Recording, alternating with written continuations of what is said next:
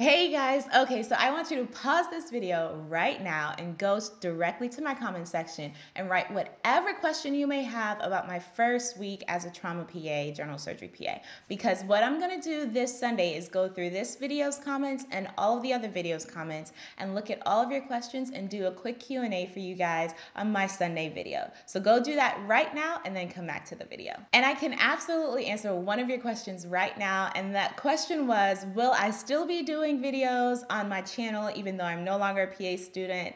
Of course I am. Yes, I'm absolutely going to do those videos. I'm not only going to continue to do my Sunday videos, but I'm also going to give you guys a weekly story time update of my journey as a trauma general surgery PA. So make sure that you subscribe right now um, for my channel because I will be doing more videos for you guys as I continue on this journey.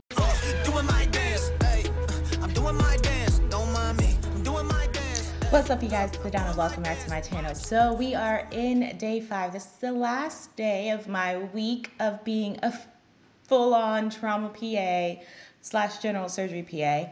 Um, and so I just wanted to talk to you about what happened today. So one of the traumas that I got to see was actually pretty cool though, because although the mechanism of the injury wasn't really super significant, it was just like a fall from maybe like one stair or something like that um, like just very low height.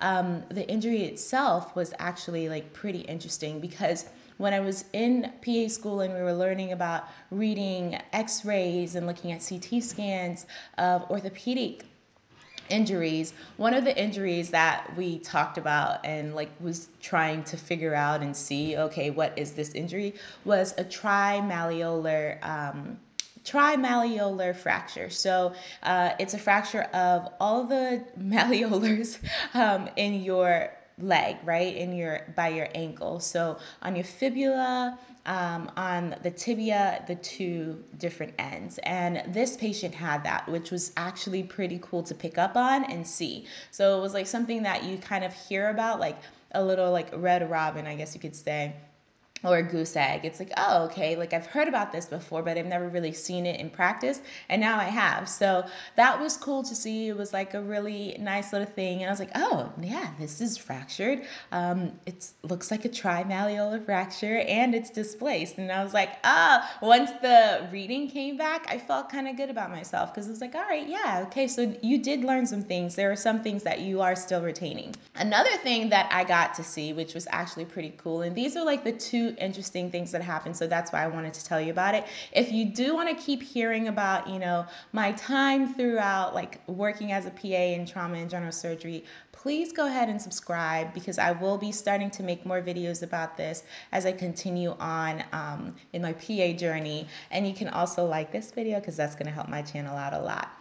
But the other thing that happened to me um, on this shift was that I got to see a medication used in a kind of like off-brand way. So I know like if you've been following my channel, you've seen my bubble maps that I make um, and one of for pharmacology and one of the bubble maps that I made was like your um, sympathomimetics and sympatho or parasympathomimetics, parasympatholytics.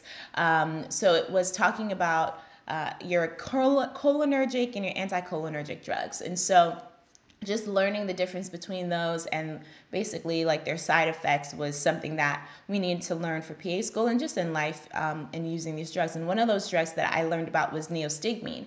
And so neostigmine is typically used for myasthenia gravis because it is an anti acetylcholinesterase so inhibitor. So it inhibits acetylcholinesterase at like the junction. And so if you know anything about myasthenia gravis there's a lot of acetylcholinesterase cholinesterase and so you need that inhibitor. And learning about that we know that it also gives a side effect of sludgem so salivation lacrimation urinary retention um, what's the D? Diarrhea, GI upset, emesis, so like vomiting, and miosis. So that is what this particular drug does, but it's used for myasthenia gravis. But today we used it to help someone that could not go to the bathroom, that was severely distended, like stomach super firm, tight, um, and gassy and impacted with bowel go to the bathroom.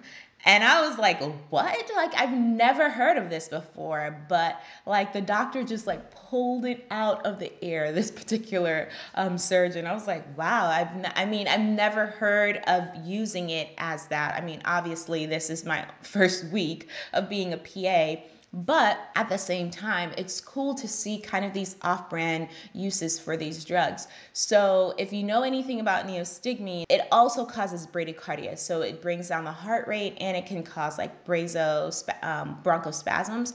So, it's important that you have the antidote, which is atropine, right? So, when we were giving this uh, this particular patient the drug, we had to like severely monitor their heart rate um, and their blood pressure because uh, it causes hypotension as well. So I was just there, like standing, like looking at this person's heart rate and looking to see if it's dropping. And you're just kind of like pushing it over time, like, because you don't want to like give a big push and then all of a sudden the heart rate just plummets. And then, you know, you're in this really bad situation with this patient. So we're just like pushing the drug over time, but at the same time monitoring the heart rate, which was cool because um, you got to see the heart rate kind of like dip a little and then come back up and then, then dip a little and come back up. And this particular patient, patient, like maybe the bronchospasms were kind of kicking in. And so, like, anxiety kind of hit a little. And so, we thought, although the heart rate was still stable and all of their vital signs were stable, like,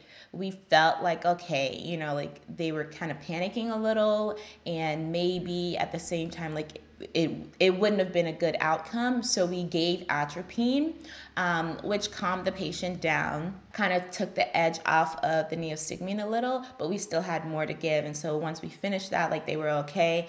And they like defecated and it was great. I mean, like defecation in and of itself is not like this great ta-da moment but like imagine the relief that this patient got because they were so distended like their stomach was severely significantly different after the use of that drug. So that is what um, i learned and i saw today and i will never forget that anymore that hey we can use this drug um, to you know have this effect but at the same time make sure that you're watching for the bradycardia so that was it today. Um, you know, interesting week that I've had. Uh, hope you guys have enjoyed learning with me and recapping my week with me. Like I said, I will continue to do at least one of these videos, um, you know, weekly as I continue to work uh, as a PA in trauma and general surgery. And if you guys have any questions for me, um, please leave them in the comment section below. I really appreciate each and every one of you. Thank you so much for watching. I will talk to you guys next time.